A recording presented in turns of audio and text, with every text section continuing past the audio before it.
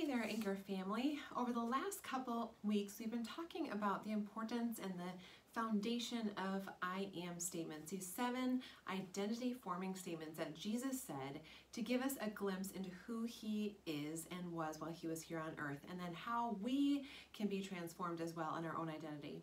In the month of October, we're going to be talking about I am the bread of life, how Jesus was the sustainer, how he was the provider, and how he was savior how he broke bread from a little boy's lunch and was able to provide for the masses.